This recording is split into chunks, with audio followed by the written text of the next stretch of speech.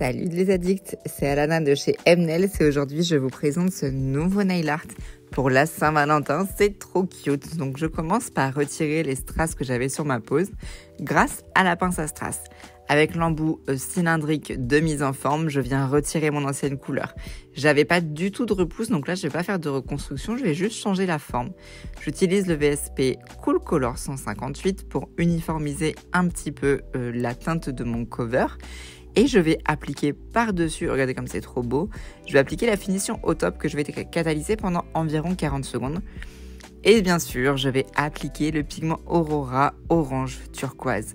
J'applique avec une baby sponge directement sur mon ongle, c'est trop canon, j'adore ces pigments, regardez cette beauté, c'est trop beau. Donc là, je lustre un petit peu avec les fesses de mon embout. Oh, je pourrais m'arrêter là parce que franchement, c'est trop beau.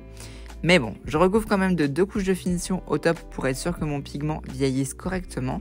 Et avec le Cool Color 17 qui est un vernis permanent blanc, je viens dessiner un cœur sur le centre de mon ongle. J'utilise de, des bulles de savon que j'ai fait avec du euh, liquide vaisselle. Je le pose sur le cœur et je vais le catalyser pendant 60 secondes. Et voici le résultat, ça donne un résultat un petit peu croco.